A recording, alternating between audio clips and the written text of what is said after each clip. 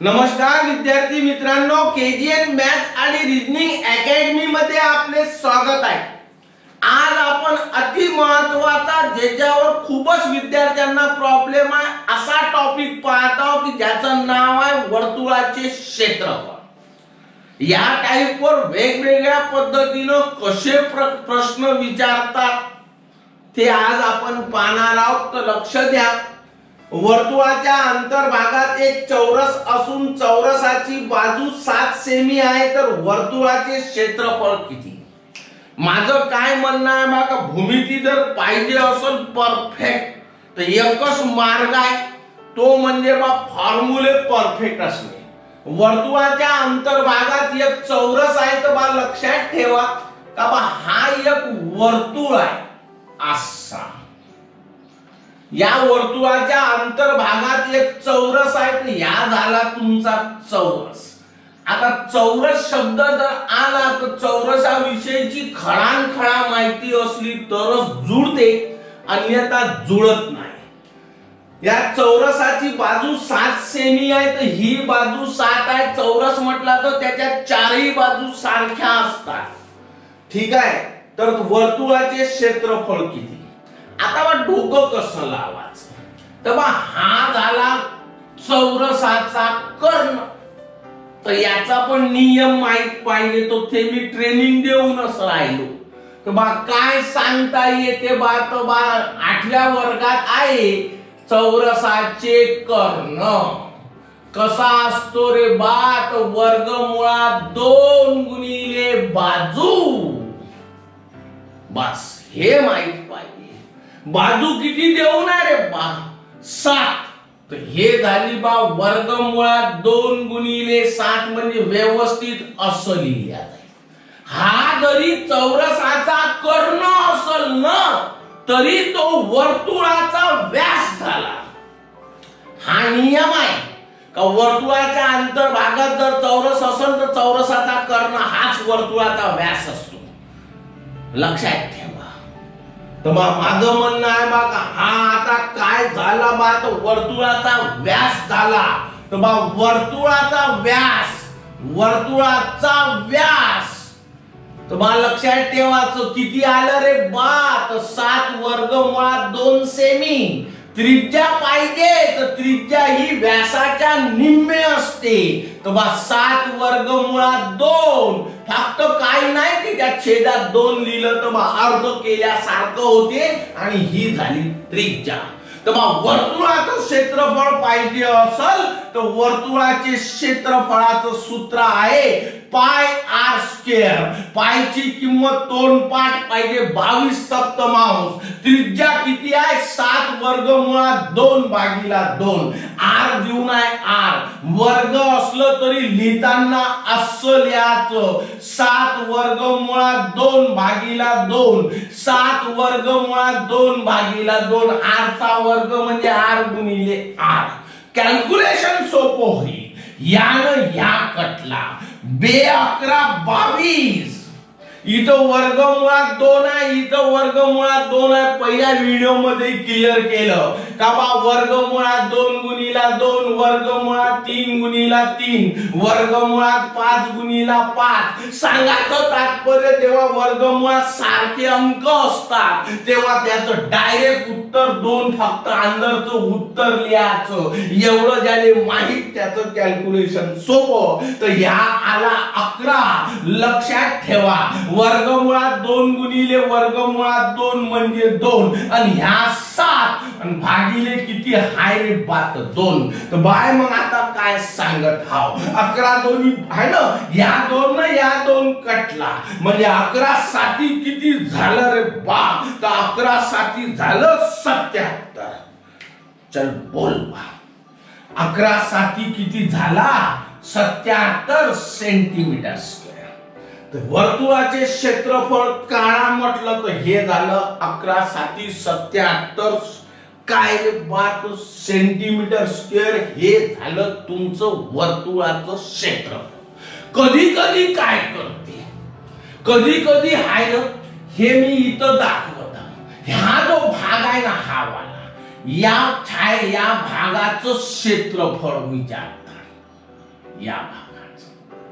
आकृती देऊन टाकते म्हणते छायांकित भागाचे क्षेत्रफळ का मी प्रश्न बदलवून सांगत काही टेन्शन नाही. ह्या वर्तुळ आहे वर्तुळाचं क्षेत्रफळ काढलं राजा सत्याहत्तर सेंटीमीटर स्क्वेअर आता या चौरसाचं क्षेत्रफळ तर बा चौरसाचे क्षेत्रफळाचं सूत्र काय आहे रे बा तर बाजूचा वर्ग बाजूचा वर्ग. बाजू किती आहे याची सात? तर सातचा वर्ग किती रे बा तर एकोणपन्नास. तर बा छायांकित भागाचे क्षेत्रफळ पाहिजे असल तर बा तुम्हाला छायांकित भागाचे क्षेत्रफळ. तर तुझ्या डोक्यात आलं पाहिजे या वर्तुळाच्या क्षेत्रफळातून या वाला चौरसाचं क्षेत्रफळ वजा करून टाकलं तर या छायांकित भागाचे काय भेटल रे बात? क्षेत्रफळ भेटल. म्हणजे सत्याहत्तर मायनस एकोणपन्नास. सतरातून नऊ गेले आठ राहिले सहा मधून चार गेले तर दोन राहिले सेंटीमीटर स्क्वेअर छायांकित भागाचा प्रश्न विचारला तर असं सोडवायचं बोला. ठीक आहे. एवढं जर झालं असेल तर दुसरं गणित पाय. प्रत्येक गणित मी वेगवेगळा सांगणार आहो. म्हणून तुम्ही शेवटपर्यंत व्हिडिओ पहा. काय सांगून राहिलो बा? तर चौरसाच्या अंतर्भागात एक वर्तुळ असून या चौरसाची बाजू सात सेमी आहे. तर वर्तुळाचे क्षेत्रफळ किती? पाय आता मी काय सांगत हा इथं इथं फरक करून टाकला. का बा ह्या झाला तुमचा वर्तुळ. हे झाला तुमचा चौरास लक्षात ठेवा. प्रॉब्लेममध्ये चेंज करून टाकलं. दोन्ही पोझिशन शिकवत आहो. जेणेकरून तुम्हाला काहीही अडचण येऊ नये. ह्या झाला तुमचा वर्तुळ. लक्षात ठेवा. इथं काय होतं? तर वर्तुळाच्या आतमध्ये चौरस होता. इथं काय हाय बा? तर चौरसाच्या आतमध्ये वर्तुळ आहे. या आहे ना चौरसाची बाजू देऊन टाकली सात. आणि त्यानं म्हटलं का वर्तुळाचे क्षेत्रफळ काढा. अरे बा हे जर इथून असं जर जोडलं तर हे जर सात असल तर हे पण काय राहील रे बा सात सातच राहील. काऊन असं बा हा पण नव्वदचा आहे? हा पण नव्वदचा आहे. म्हणजे दोन या समांतर बाजू मधला लंबांतर म्हणतात. दोन समांतर बाजू मध्ये जर लंबांतर असल तर याच्यामधील अंतर पण सारखं असते. हे नवव्या वर्गाचं पुस्तक सांगते.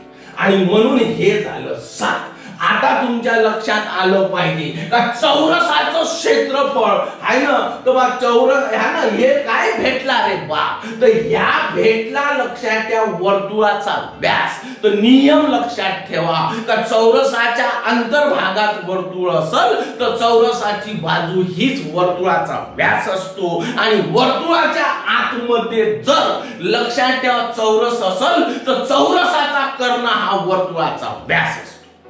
बस हे डोक्यात पाहिजे.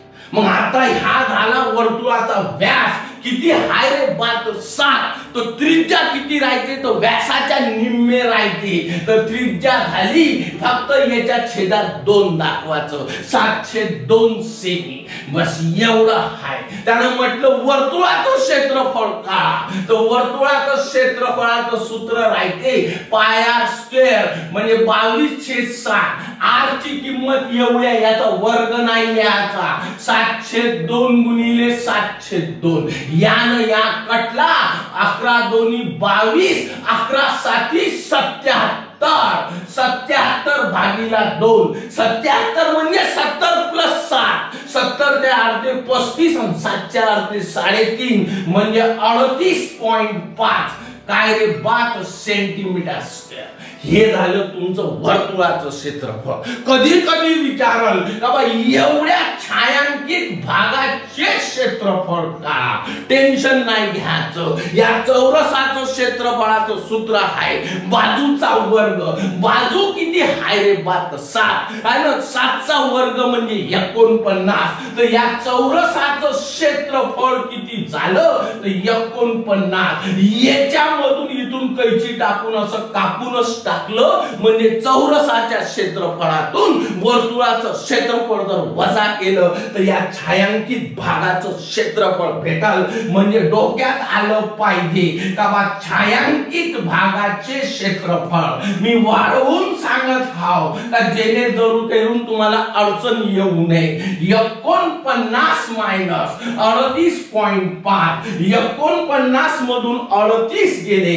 नवातून आठ गेला एक चारातून तीन गेला एक अकरा मधून आठाने गेले तर साडे दहा राहील.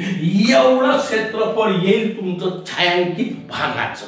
तर वेगवेगळ्या पद्धतीनं विचारतात बोला. ठीक आहे? आवडला? पुढचा गणित पाहून घ्या.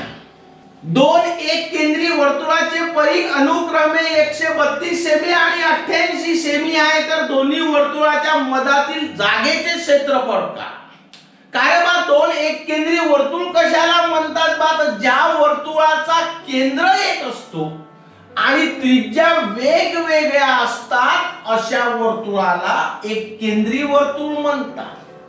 तर बा लक्षात ठेवा हा मोठा वर्तुळ तर त्याचा परीख पण जास्त.